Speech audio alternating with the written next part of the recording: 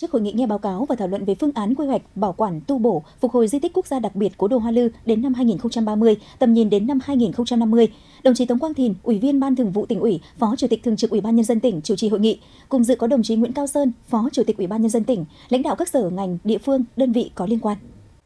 Các đại biểu đã được nghe đơn vị tư vấn trình bày báo cáo phương án quy hoạch, bảo quản tu bổ, phục hồi di tích quốc gia đặc biệt cố đô Hoa Lư đến năm 2030, tầm nhìn đến năm 2050. Theo đó, mục tiêu quy hoạch nhằm nhận diện đầy đủ giá trị của cố đô Hoa Lư gắn với sự hình thành nhà nước Đại cổ Việt, hoàn thiện hệ thống hồ sơ dữ liệu làm cơ sở chuyển đổi số và tự động hóa trong quản lý, tạo khung pháp lý chính sách toàn diện, kế hoạch đầu tư nhằm thu hút nguồn lực xã hội trong công tác quản lý, bảo vệ và phát huy giá trị di tích, đồng thời hoàn chỉnh danh giới phạm vi khoanh vùng, đề xuất giải pháp nâng cao năng lực thích ứng với biến đổi khí hậu, thiên tai, tạo tiền đề phát triển kinh tế xã hội của địa phương gắn với di tích một cách hữu hiệu.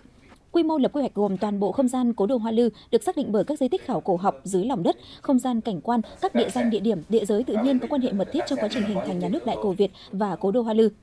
Đơn vị tư vấn cũng trình bày 12 ý tưởng quy hoạch cố đô Hoa Lư tầm nhìn đến năm 2050 như ý tưởng hồi sinh cố đô Hoa Lư với diện mạo văn hóa văn minh và văn hiến, ý tưởng về mô hình chiến lược bảo tồn bền vững cố đô Hoa Lư, ý tưởng đô thị di sản mới và thành phố của tương lai, ý tưởng về mô hình chiến lược bảo tồn bền vững cố đô Hoa Lư, ý tưởng quy hoạch đô thị du lịch và hệ thống các công viên, ý tưởng kết nối mặt nước và dòng chảy.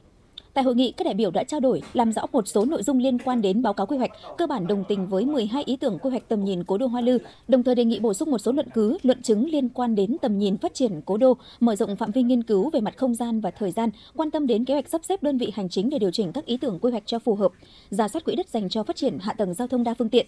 Phát biểu tại hội nghị, đồng chí Phó Chủ tịch Thường trực Ủy ban nhân dân tỉnh Tống Quang Thìn ghi nhận thống nhất 12 ý tưởng quy hoạch mà đơn vị tư vấn trình bày, đồng thời đề nghị đơn vị tư vấn tiếp thu các ý kiến thảo luận, tiếp tục phối hợp với các sở ngành địa phương, đơn vị có liên quan, trao đổi, đối chiếu giữa quy hoạch Cố đô Hoa Lư với các quy hoạch khác nhằm tạo sự thống nhất phù hợp với định hướng phát triển chung của tỉnh.